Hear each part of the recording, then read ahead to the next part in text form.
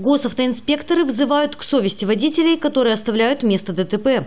Призыв не быть равнодушными звучит в рамках февральского единого дня безопасности дорожного движения. За прошлый год на территории Гомельской области произошло 31 происшествие, в которых водители скрылись.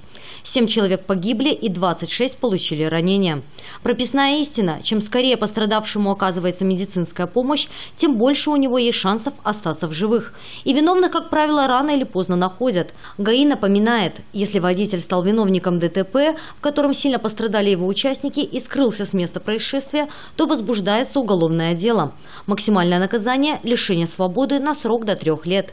В случаях, когда участники аварии только повредили автомобили, водителю, оставившему место ДТП, согласно административному кодексу, грозит штраф до 25 базовых величин, либо лишение прав на срок до двух лет.